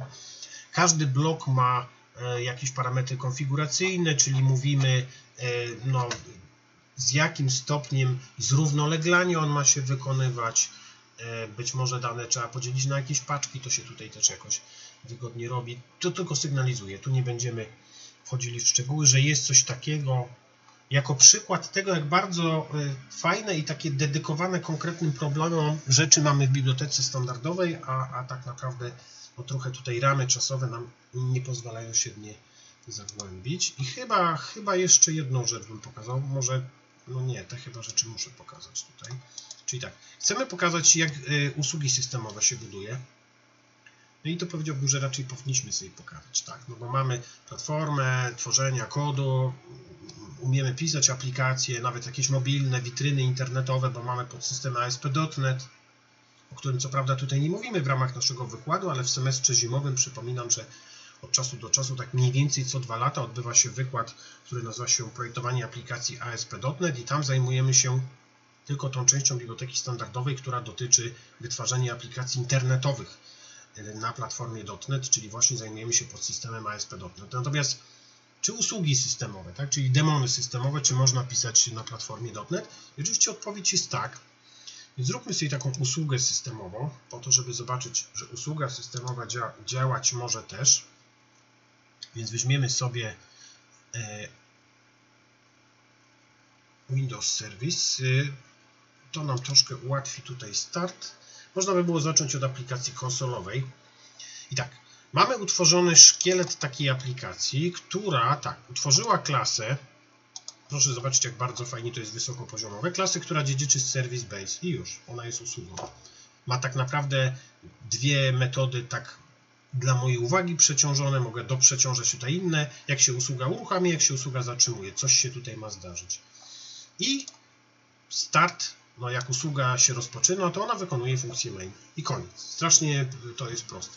Ja bym tutaj troszkę nad tym popracował, zanim sobie to spróbujemy pokazać. Ponieważ ja bym zrobił tak. Najpierw bym się upewnił, że ta aplikacja jak się linkuje, to w ogóle tworzy okno konsoli.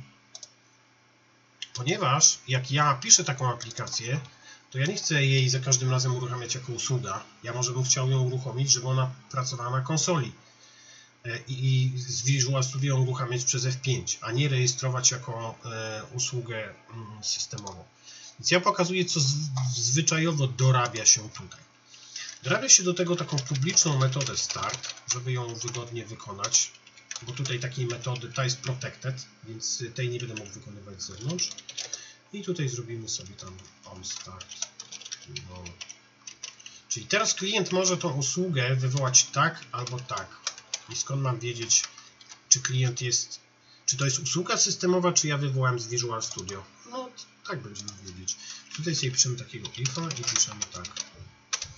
Jeśli environment, to jest taka klasa, którą też warto znać. Mm, I tu mamy szereg rzeczy związanych z samym systemem, między innymi coś takiego user interactive. Czyli czy ta aplikacja jest uruchomiona w trybie interaktywnym, czy użytkownik z pulpitu ją uruchomił, jeśli tak, a jeśli nie, jeśli nie, to to jest usługa systemowa. To my to uruchomimy jak usługę systemową. Natomiast jeśli tak, jeśli użytkownik uruchamia to, no to zróbmy tak po prostu.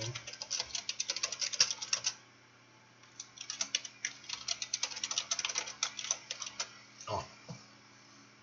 W związku z tym, cokolwiek będzie się działo tutaj, o tutaj, i tutaj, no to zadziała nam w obu tych trybach, tak? I teraz, co, zanim w ogóle zarejestrujemy to jako usługę i spróbujemy tutaj e, coś zadziałać, to co taka usługa może robić? Więc usługa generalnie działa równolegle ze wszystkimi innymi procesami użytkownika, więc zasadniczo to ja bym powiedział, że mam dwie możliwości. E, mogę albo uruchomić wątek, czyli ten wątek będzie no, trwał i on się na pewno nie zatrzyma, system go nie zatrzyma. Natomiast kiedy usługa się kończy, to ja bym dał abort na tym wątku, czyli zakończyłbym e, go albo ustawił mu jakąś flagę, która powoduje, że on się sam zakończy. Bo w środku funkcji tego wątka, czyli zrobiłbym thread, thread równa się new thread od takiej funkcji, która w środku wyglądałaby mniej więcej tak while true, a tu jakiś thread sleep i na przykład tam na 60 minut 60 sekund. Czyli wątek robiłby coś takiego. Budzi się, coś robi, po czym tu, tu, tu się coś dzieje, po czym idzie spać na minutę i znowu po minucie się budzi i coś robi tak, może częściej, może rzadziej to ma jakąś wadę. Znaczy taki działający wątek utrzymuje w systemie no, swoją pamięć i tak dalej. Musi, kiedy system nim zarządza, chce trochę zwolnić pamięci, to coś tam się dodatkowego musi dziać. Więc wariant z wątkiem proponuję traktować jako coś opcjonalnego. To, co nas interesuje, to użycie zegara systemowego.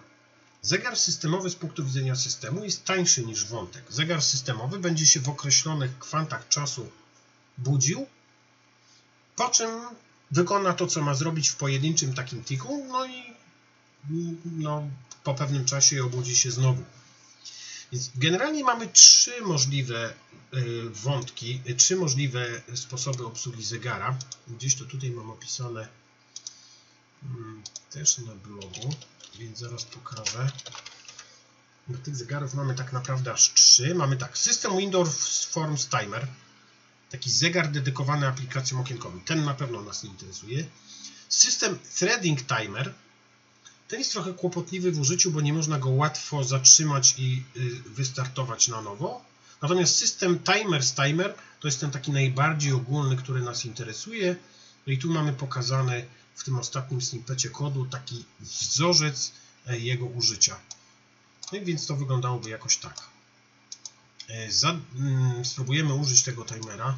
Tutaj widzę tylko, że już zawisła i nie chcę zaznaczyć bloku kodu, to nie szkodzi, popiszmy sobie tak. Tak, w on start y, zadeklarujemy ten timer.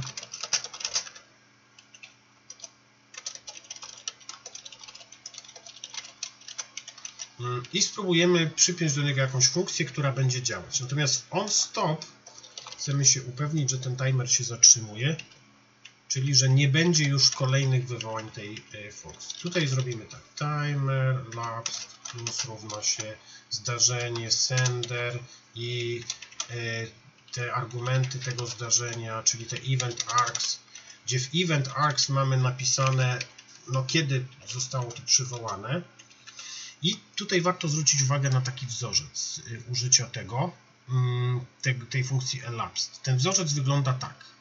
Otóż powinienem timer zatrzymać, powinienem zrobić to, co chcę zrobić i powinienem timer wystartować. Dlaczego? E, tutaj jeszcze powinienem temu zegarowi dać y, oczywiście jakiś czas, na przykład właśnie trwa jedną sekundę, żeby się uruchomił. Dlaczego powinienem go zatrzymywać, a następnie włączać na nowo? Tutaj jeszcze powinienem zrobić start. E, w środku tej funkcji. Dlaczego chcę całego takiego bloku, try, finally i dlaczego chcę tutaj zrobić timer stop, a tutaj chcę zrobić timer start. Dlatego chcę tak, że to co tu będę robił, tu prawdziwa taka praca, czyli to, co chcę, żeby on robił co tam minuty czy co sekundę, to ta praca może zająć więcej czasu niż kwant czasu, na jaki ustawiam timer. I niestety miałbym taki problem, e, postępując tutaj inaczej, że mogłoby się okazać, że nie kończy się jeszcze poprzednia funkcja obsługi, a już zaczyna się następna. Więc zatrzymując i startując, ja sobie gwarantuję, że te poszczególne wywołania tej funkcji no, będą nie częściej się pojawiać niż y, ten kwant czasu, nawet jeśli pojedyncze, takie można powiedzieć, stuknięcie tego zegara w ramach tego, co ma zrobić, przekroczy ten czas y, tej częstotliwości wywołania, to nic złego tu się nie stanie. No i tyle. Tu zachęcam do tego, żeby zrobić coś sensownego, wiem, zapisać coś do pliku, jakąkolwiek y, tutaj akcję podjąć, natomiast my sobie pokażemy, co dalej tutaj się powinno zdarzyć. To znaczy, jak taka usługa powinna E, to jest już szkielet taki podstawowej usługi poprawny.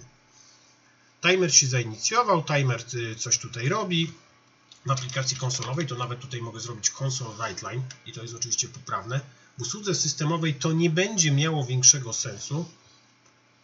Dajmy tutaj chwilę Visual Studio, żeby się odwiesić. Przypominam, że cały czas y, zależy nam na tym, żeby można było e, uruchomić taką usługę systemową no tak, tak wprost, czyli właśnie przez F5 z Visual Studio i po to był nam potrzebny cały tamten blok kodu, czyli chcemy napisać console write line. Och.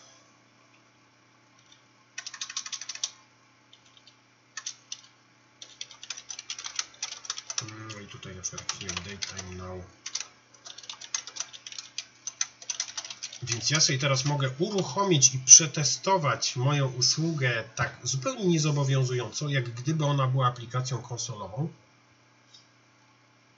W ten sposób sprawdzę, czy nie ma tu jakichś problemów e, typu no, reference exception, czegoś nie zainicjowałem, coś jest poprawnie, niepoprawnie. No i patrzmy, jak to się tutaj zachowuje. Tu już jest coś nie tak. To nie zadziałało. A to nie zadziałało z jakiegoś prostego powodu, właśnie takiego.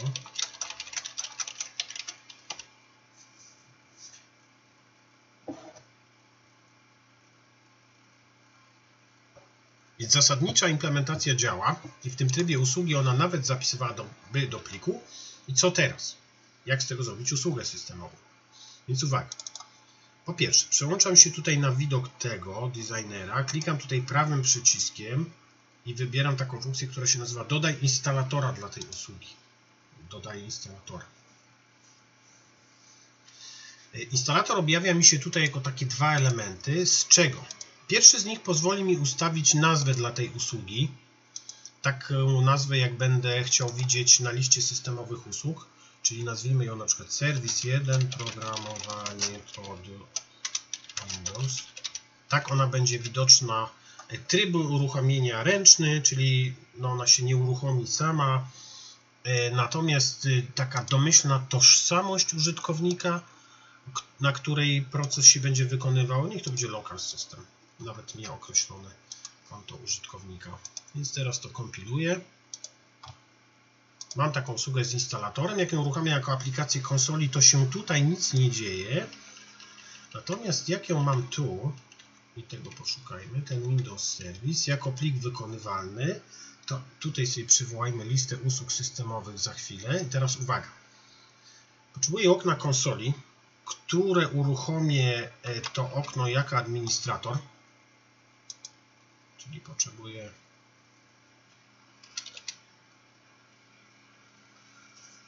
wiersz polecenia i go sobie uruchomimy jako administrator.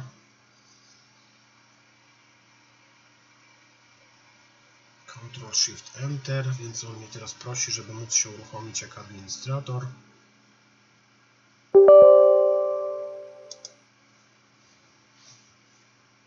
Mam uruchomione okno terminala jako administrator. Przejdę tutaj teraz do tego foldera, gdzie znajduje się moja usługa systemowa. No i jestem. Hmm, upewniamy się, że... I teraz uwaga. No, częścią samego Frameworka, tu się jakby upewnimy, że tak jest, czyli wejdziemy do Windows System Microsoft Net, przepraszam. Framework 64 i pokażemy sobie, że oprócz tych narzędzi, część tutaj już obejrzeliśmy, kompilatory, mm, więc część nam jest znana, mam narzędzie, które nazywa się install util. I to narzędzie install util służy jako narzędzie pomocnicze do instalacji usług systemowych napisanych dla platformy .NET. Ponieważ ten folder w ścieżce raczej mam, więc po prostu napiszę install util Windows Service 1 exe install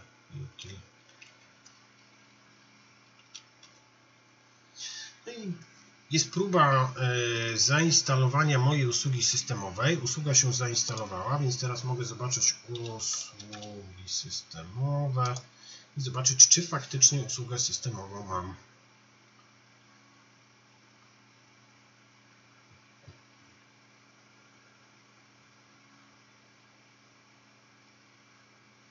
No więc szukajmy tutaj na liście mnóstwa usług systemowych. Powinniśmy mieć serwis 1 programowanie pod Windows.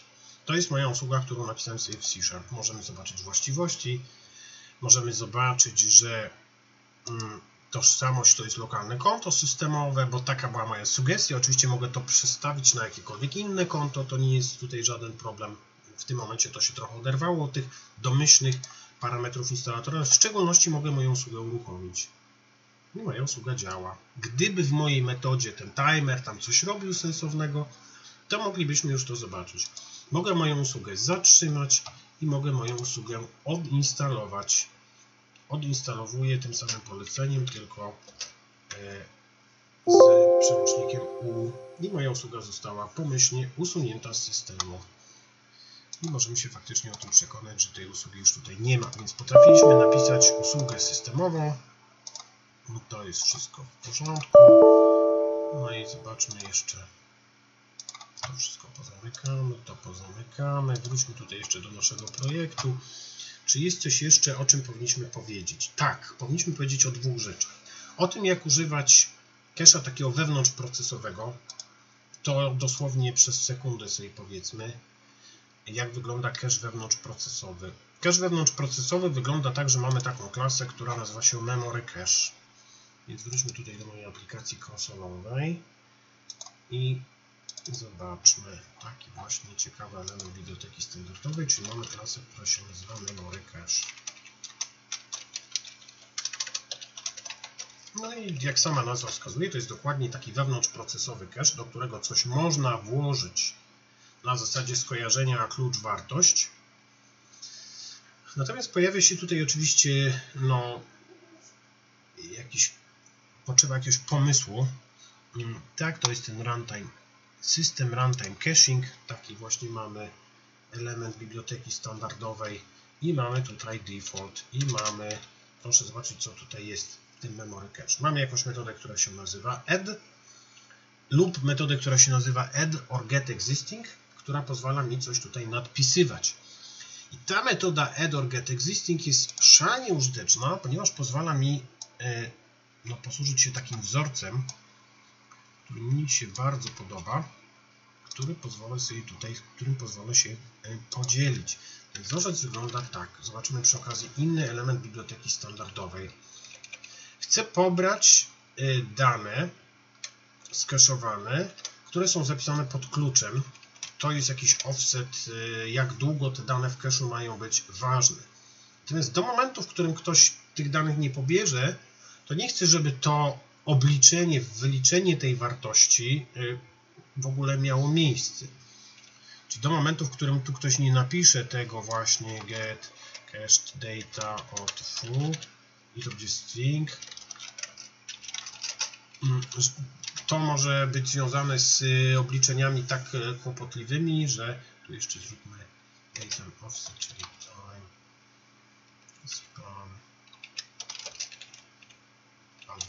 time span limits, tak?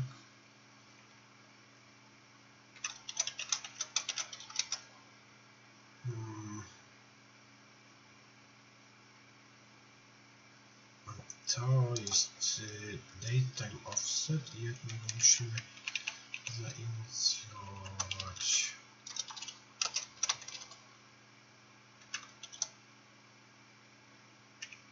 Jego musimy zainicjować jakiegoś timespana. Szukam jakiegoś wygodnego. E, a nie będzie tak.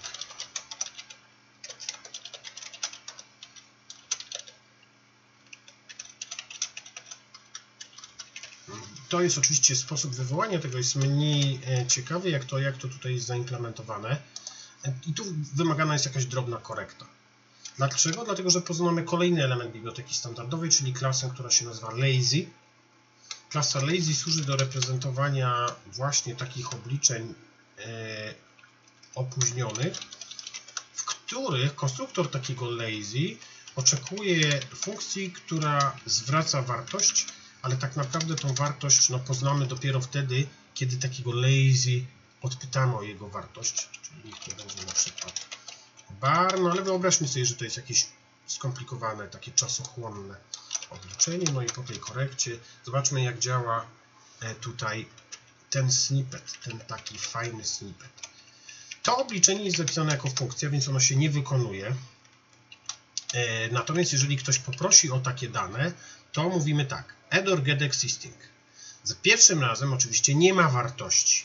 Więc jeżeli nie ma wartości, to tej metodzie add or get existing zwracamy coś, co wykona nasze lazy. Czyli za pierwszym razem ta funkcja się wykona, ona zwróci wynik, a my tak naprawdę do tego cache'a wkładamy no, tą moją lazy, a nie wynik tego obliczenia.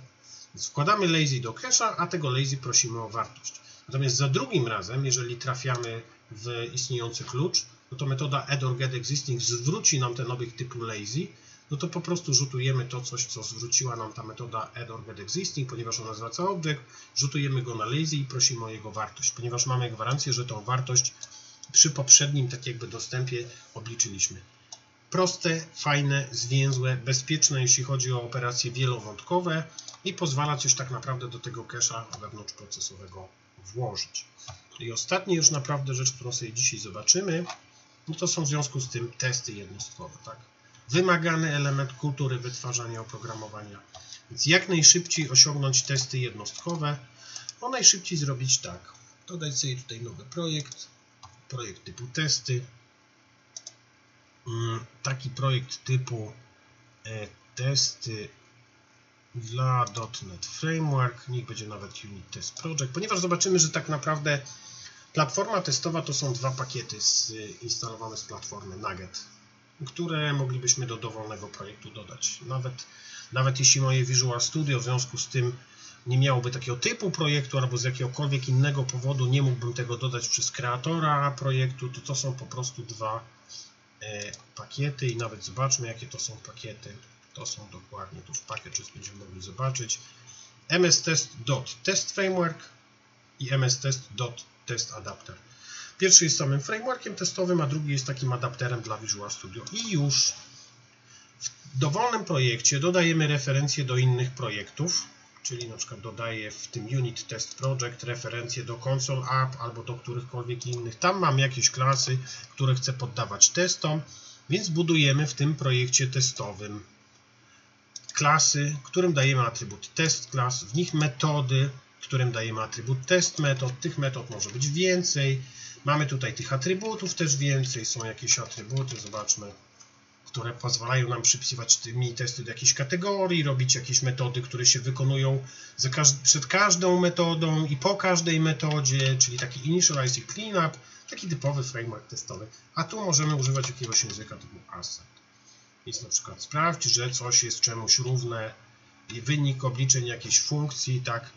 Więc mam tutaj na przykład jakąś klasę, zróbmy tutaj jakąś klasę z jakąś metodą i poddajmy ją testowi jednostkowemu. Jakąś klasę test subject, która będzie miała metodę, która zwraca coś, a my się upewnimy, że ta metoda zawsze zwraca coś E, większego niż 0, czyli test wyglądałby w taki sposób, że napisalibyśmy sobie tak, test subject mm, dodaliśmy referencję do konsol, tak, dodaliśmy, więc na pewno to powinno zadziałać. No to się za chwilę pewnie skopiuje.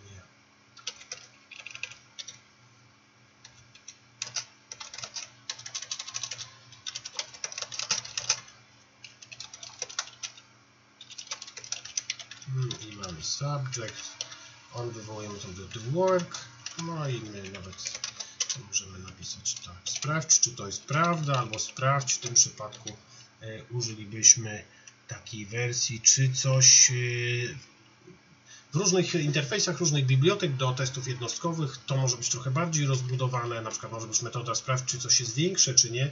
Tutaj w dokumentacji można poczytać, e, jakie mamy tutaj możliwości. Ja napiszę tak, to jest warunek logiczny, a tutaj będziemy mieli wiadomość y, metoda duet ma zwrócić wartość większą niż 0 i spróbujmy co się stanie po napisaniu takiego testu jednostkowego. Gdzie w ogóle szukać tych testów jednostkowych? Więc idę do zakładki test, idę do zakładki test explorer.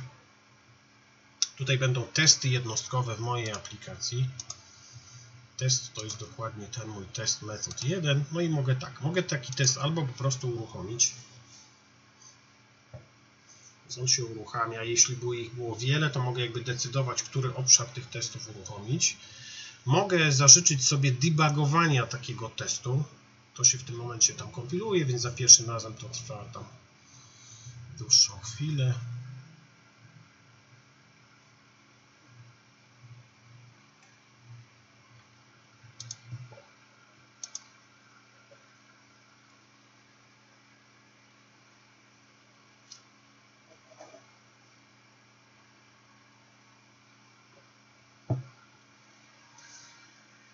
No jeszcze chwilę dajmy. Test już się zaczyna wykonywać. To, to pierwsze zawsze jest takie trochę bardziej czasochłonne. I test się oczywiście udał, bo tak oczywiście miałoby być. Tak jak mówię, gdybym wybrał y, opcję debugowania testu, to mógłbym nawet no, mm, to śledzenie, to wykonanie tutaj śledzić. Natomiast spróbujmy moją metodę popsuć i zobaczyć, że y, no, wtedy testu się przeprowadzić nie da po zmianie powinniśmy zobaczyć, ja bym sobie nawet taki test Explorer pewnie dla wygody przypiął e, gdzieś tutaj mm, o tym, żeby gdzieś był tutaj, albo bym go ściągnął tutaj niżej. Natomiast teraz mogę powtórzyć mój test. Czyli to się ponownie kompiluje, wykonuje i zobaczmy, że teraz test powinien nie przejść. Czyli mamy fajny, zintegrowany z Visual Studio, taki framework testowy, który wydaje się, że no, wspiera z kolei nas w tej kulturze e, wytwarzania tutaj naszych aplikacji. Proszę Państwa, część tematów z listy pominąłem, ale to oczywiście nie jest jakiś problem, bo można je we własnym zakresie e, e, uzupełnić. Jeśli chodzi o serializację, to tak jak mówię, na jednym z kolejnych wykładów pojawi się cały wykład poświęcony serializacji głównie XML-owej, ale obiecuję wtedy wrócić do serializacji JSON. Więc za nami taki, tak jak powiedziałem, subiektywny przegląd wybranych elementów biblioteki standardowej, trochę rzeczy praktycznych, trochę pakietów, e, trochę takich ciekawostek, opowiedzieliśmy sobie o usłudze systemowej, a przed nami kolejne rzeczy, czyli no, konkretnie podsystemy dostępu do danych. Do usłyszenia następnym razem.